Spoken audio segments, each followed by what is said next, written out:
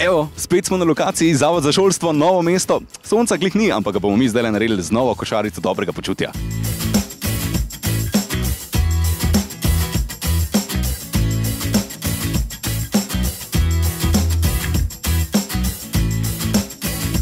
Ajde, gremo, mislite, da vejo? Dan, ni več dobro jutro, ne? Ste že lačne, ne? Jo, evo. Košarica dobrega počutja, evo, izvolite. Mislim, da bo za najest, no? Evo, smo na lokaciji še enkrat ponavljam, zdaj smo že lepo noter in eh, tole je pobudnica akcije Andreja. Eh, Zakaj ste se odločili? Prvič ste neki dubelj, sem zdaj slišal, ste mi že prej povedali. Ja, prvič, da sploh sem sploh sodelovala, kaj šele, da kaj sploh dobim.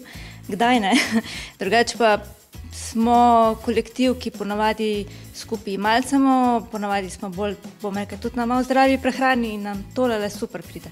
Ok, sicer smo večkrat pozni, ne za malce mogoče že, ampak so mi prej zaupali, da, da že čakajo od osmih, da so lačne, tako da ne bomo nič zavračevali. Dober tek, če že bo, dosti je za vse, sem prepričan, pa tudi dobrega počutja veliko prenesemo tako le z aktuala. Tako da hvala, uživajte, dober tek.